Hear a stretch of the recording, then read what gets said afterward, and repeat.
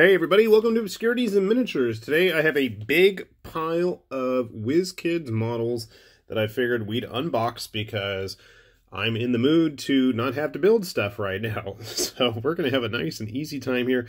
But there's been some neat stuff, and I got to give WizKids credit. They have continued to push both the quality of the models and the depths of which they will plumb for interesting things to represent on the tabletop. Now, I'm not much of a RPG player, but I do appreciate the fact that we're seeing so many bizarre monsters make their way into plastic models for the table. So, without further ado, let's start our menagerie off here with these dudes. Male Elf Magus. Magus.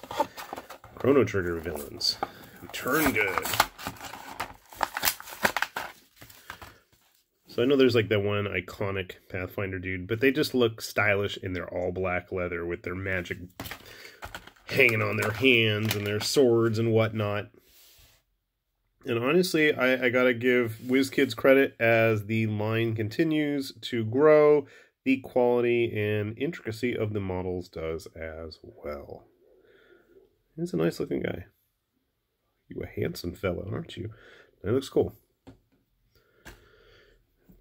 His buddy kinda too. I keep looking at them and I keep thinking I should totally paint them up like the Sparda brothers, Dante and Vergil. I don't know. It's quite tempting. It's really tempting, but I do like them and they're all black, fancy, late 90s. Oh, I'm so dark and morose. Or would that be early 2000s?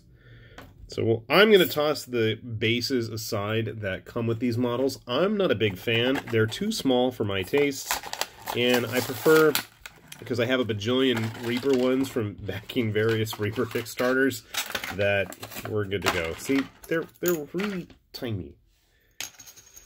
They're like chocolate mint wafers. They're, they're not much better than like the Tiddlywinks that used to come with Anima Tactics models. See, they're almost the same size. Anyway, so what do we have that I just opened up? These are human barbarians. And look at that as he's channeling the power of his inner ancestor who does not seem to be attached to the base, which may or may not be a good thing. Actually, it's probably a good thing. He's just going to go like that. And I'm just reminded of Weapon Lord for the Super Nintendo, and I don't know why. Anura! That is kind of cool, though. Would they both even fit? That's the other thing that bugs me, is a lot of these models don't want to actually fit on the provided bases either. I got plenty of them, though, so that's not a big deal. Of cool. And then we have a more typical shouting, half-naked barbarian type. This hair done in a nice, neat ponytail. Barbarian boys, the least you could do is try to be tougher and bigger and more imposing than the fancy elf magi. They're not really. Alright. Who's next? Actually, none of them are as cool as my female orc ladies. I don't know if she's a half orc or what. She's like my my barometer for cool deep cuts models. She just came out really nice. I like this model a lot. You are puny. Anyway, moving on. Do I have any other humans?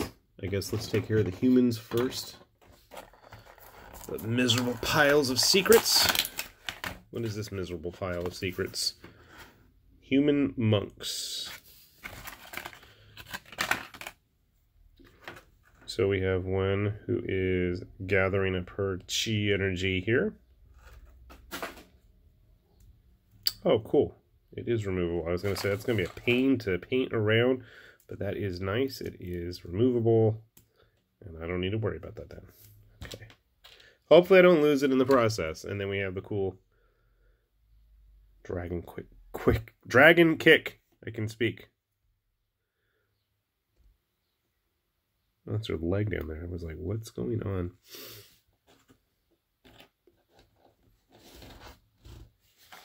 Scale seems pretty consistent with these models.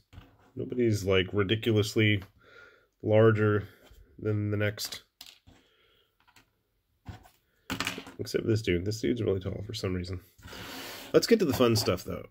Oh, yeah, I did mean the fun stuff. We've got some Dragonborn. Not as cool as the earlier Dragonborn models. I'm assuming these are more on the female side. I don't know. It's not like you can really tell with the reptiles. This one's got a cool magic axe. I didn't care for the paint jobs on the box. So I'm just going to do whatever.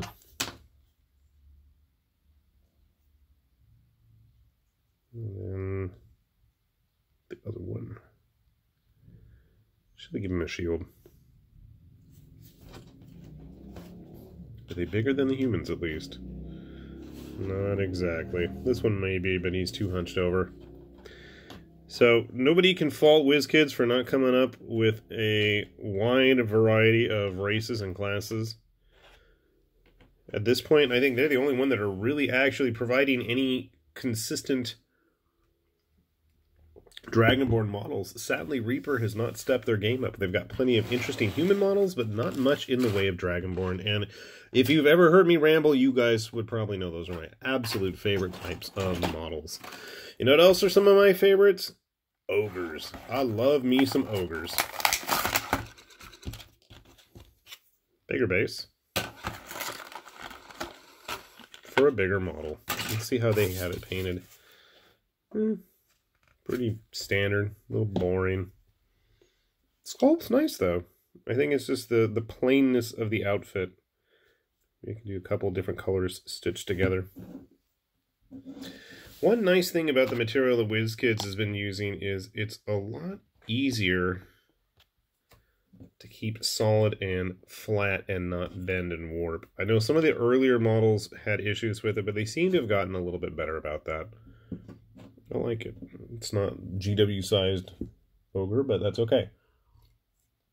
It's not supposed to be. Alright, and besides ogres, I love me some reptiles. So I wanted to try out the raptors that they had. Very plain Jurassic Park style paint jobs. And if you are concerned about their lack of plumage, then be ready to be disappointed. They are very much in the vein of the Jurassic Park style ones.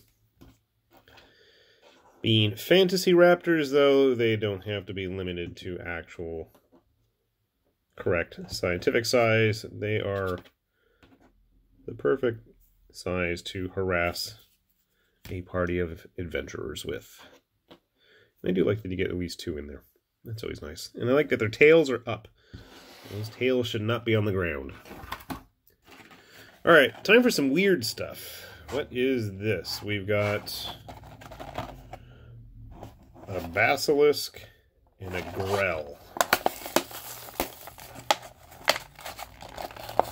And my son wanted me to get the basilisk. I love grells. They're so weird.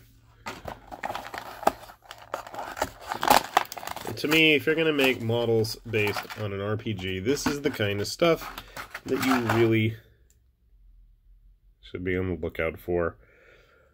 Tentacled floating brains with bird beaks. Because why not? Oh my goodness, our basilisk. You are so tiny and you're not even attached to your base. Why not? Chi-che.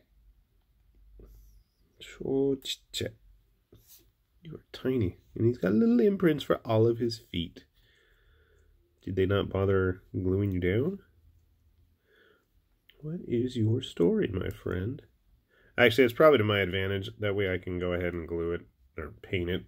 Yeah, obviously I'm going to glue it. Mama, you are tiny. Oh, you're cutie. He really is tiny. But I mean, it's a basilisk. It's not like the crazy stuff from Hordes and Warmachine where they're towering over people. Finally, the last two boxes that we have to pop open today are some salads. I mean, slads. We have a blue cheese. No, blue slad. Slade? Slayad. Slaad. Anyway, I like slads. This is a big one. I used to have all the pre-painted ones. I love them. I am not loving those hideous mold lines, but that is what it is. And given a good base, I think that would help a lot. So he's really tall and imposing. You know, honestly, at this point, I gotta just drag my kids through a D&D adventure. It's not like I don't have enough models from various Kickstarters and online shops that we couldn't actually just go ahead and play something. And finally, as I ramble to myself, we have a green slad, which you can't see yet.